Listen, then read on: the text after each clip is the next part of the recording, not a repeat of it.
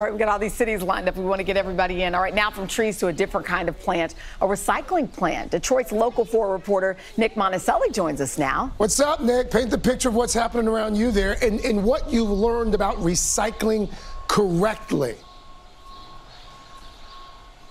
You know, there's so many things that I didn't recognize. So we'll talk about some of the things you might already know, like snow fencing, you can't recycle that. Twigs, you can't recycle that.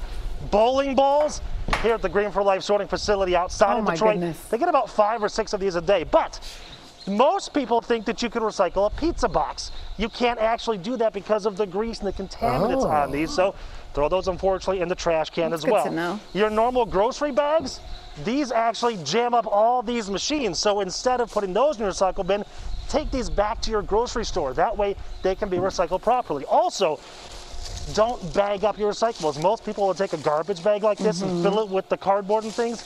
Once it gets inside this bag, they can't recycle any of it. Oh my goodness. So just to break down the numbers a little bit, they do about 200 tons of goods here every day. Yeah. About 20 to 40% of those can't be recycled. We're talking 40 to 80 tons of things that just waste about three to four hours of their time every single day.